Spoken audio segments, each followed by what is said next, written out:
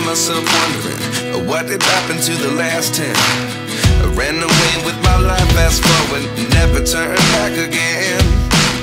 It's kinda funny that the more we pass time, the more we need to set the rewind. And 19 was the year I had to leave you, but now I'm seeing all the signs. Is this really happening? I can't believe it's true. I'm just as surprised as you.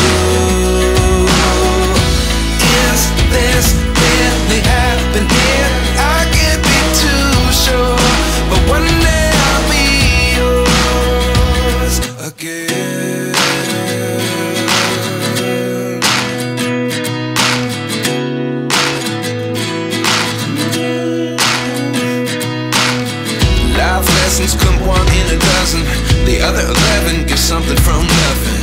I sit here looking for an answer. Maybe the biggest question was in the last chapter. You gave me the soul I have today. Without you I never could have moved away. But now I seek what you teach. I do believe I